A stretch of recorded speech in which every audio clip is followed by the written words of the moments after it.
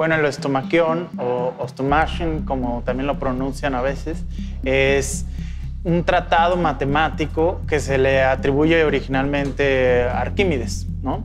Y este tratado matemático básicamente lo que hace es eh, poner en jaque ciertos, ciertas premisas de, la combinatoria. ¿no?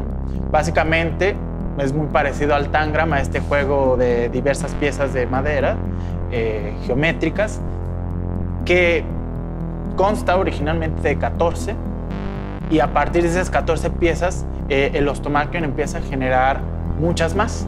Es decir, que a partir de la distribución distinta de sus elementos internos, tú puedes generar miles de formas. El único límite es tu creatividad y tu imaginación. Ostomachion, máquinas postconcretas, lo que quiere es explotar a través de ciertos juegos creativos lo que teóricamente me gustaría abordar.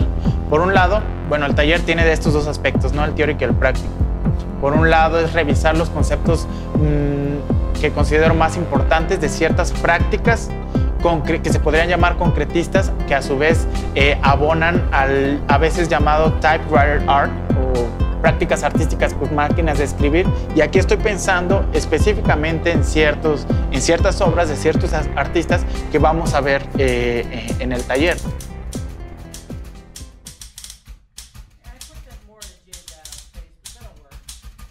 Steffi Kisler, mm, Alan Riddell, Buddy Tyrell, Marianne Home Hansler.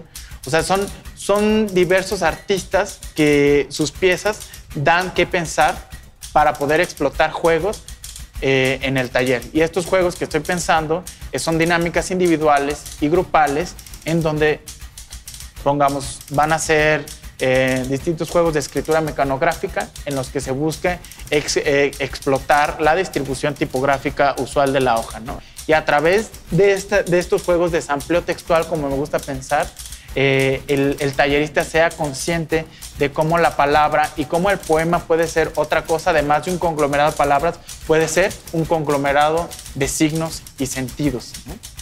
El taller va dirigido prácticamente a todo público interesado en, en jugar textualmente. Eh, no, no, no, tienen por qué ser poetas, no tienen por qué ser escritores.